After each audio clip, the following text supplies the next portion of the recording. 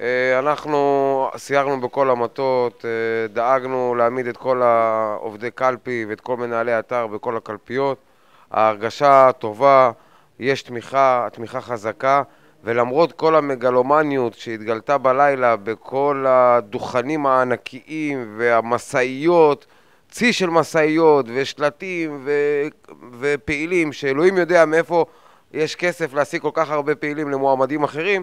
אני חושב שהציבור עוד יותר מבין היום כמה חשוב לבחור בראש עיר שלא מקבל אה, בבחירות מימון או תרומות מקבלנים ובעלי אינטרסים. כמועמד היחיד שמקבל מימון רק מכספי הציבור שהועברו אלינו על ידי הליכוד, אני חושב שהיום יתגלה כל הסיפור ובעצם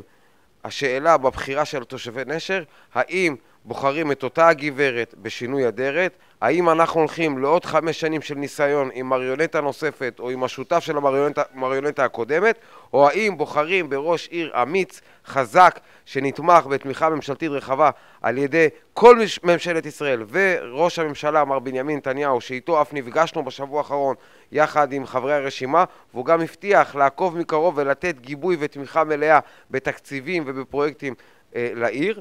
והדבר הכי חשוב זה גם לעצור את הגזרות הקשות שעלולות להגיע לעיר נשר, אם זה תוכנית תחנת הכוח באנרגיה שאובה שעומדת לקום בנשר, אם זה חוות המכלים שאמורה לעבור מקריית חיים לפה לנשר, אם זה הארכה של 25 שנים לפעילות מפעל נשר במסגרת תוכנית כלל,